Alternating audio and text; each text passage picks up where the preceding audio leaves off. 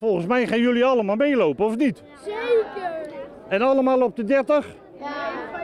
Zijn er ook van de 50? Nee, we lopen allemaal 30. Allemaal 30. En allemaal voor de eerste keer? Ja. Wow, zoveel tegelijk. Allemaal, alle 100. Maar dan, 100 re- kinderen hebben we hier. maar dan reken ik er ook op dat jullie het allemaal uitlopen. Dat je het allemaal gaat halen. Hebben jullie goed getraind?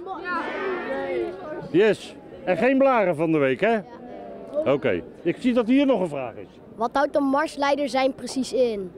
Ja, mensen denken wel eens dat ik dan helemaal voorop moet lopen met de vlag in mijn hand en dat alle wandelaars erachteraan lopen. Maar dat doe ik niet hoor, want dat vind ik veel te ver. Ik heb ook niet getraind. Dus ik moet eigenlijk goed opletten dat het allemaal goed gaat met jullie onderweg.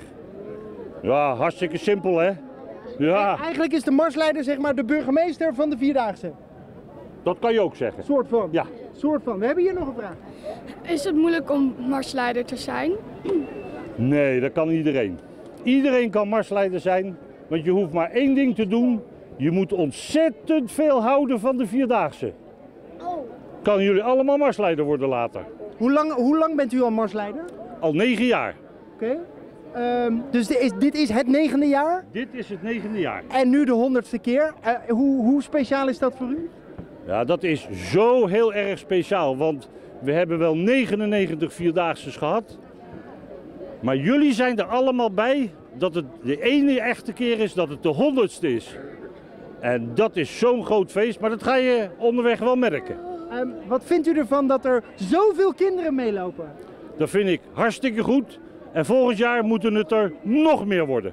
Gaan we daarvoor zorgen? Daar gaan we allemaal voor zorgen. Oké. Vraag. Heeft u ooit al meegedaan aan de Vierdaagse?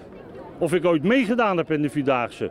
Nou, ik zal je vertellen, toen ik 14 jaar was, liep ik voor de eerste keer mee. En ik heb hem 12 keer gelopen.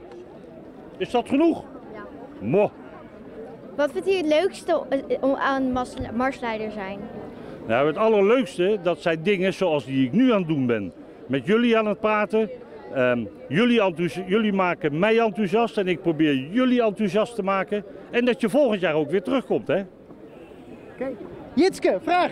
Maar word je gewoon uitgekozen als marsleider of mag je dat zelf bepalen?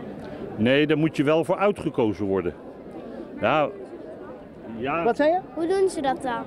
nou ja, dan kijken ze naar wat je, wat je eerder hebt gedaan. En of je wel eens eens een keer tegen grote groepen mensen hebt gepraat. En of je ook wel zoiets kan organiseren. En dan komen ze bij je thuis en dan bellen ze aan en dan zeggen ze: Wil jij marsleider worden? Zo ja, gaat dat. eigenlijk heel simpel, hè? Ja, vraag. Hoe lang blijf jij, denk je, nog doorgaan als marsleider? Ja, dat is een ingewikkelde vraag. Maar minstens nog één jaar, zeg ik altijd. Dat weet je niet, we zullen het zien. Oké, ja achter. Wat vindt u het leukste aan de Vierdaagse? Ja, het leukste aan de Vierdaagse vind ik eigenlijk dat jullie allemaal lopen en dat ik dan langs de kant kan staan, staan- kan staan klappen en juichen en eh, gewoon de Vierdaagse lopen. Want al die feestjes, zoals deze, zijn ook leuk. Maar het gaat om de Vierdaagse lopen. Dat vind ik het leukste. Ehm, even nog een vraag eh, over de weersverwachting. Daar gaat het toch altijd een beetje over, qua warmte. Gaan er nog speciale dingen gebeuren? Nou, ik denk het niet echt. Eh, morgen, wordt het, eh, morgen wordt het wel warm. Ehm, en in de tweede helft van de middag wordt het misschien wel eh, 28 of 29 graden.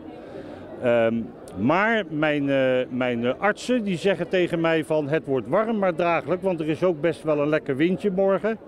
En eh, dat betekent dat we morgen vooral op de tweede helft van de dag nog veel meer extra water gaan uitdelen. Maar tegen jullie allemaal moet ik zeggen, neem genoeg water mee. Begin nu al te drinken. Nu al, dat is heel belangrijk. Zet een petje op je hoofd. Neem een doekje mee die je lekker nat kunt maken en in je nek kunt leggen. Doe zonnebrand op. Vergeet ook niet een beetje zout te eten, een kopje soep of zo. Ehm, en gewoon lekker eh, drinken en lopen. Gaat helemaal goed komen. Oké, applaus voor de marsleider! En ik zeg, toi toi toi allemaal. En Tot vrijdag op de Via Gladiola. Zeker? Ja, Zeker? oké, applaus voor jullie.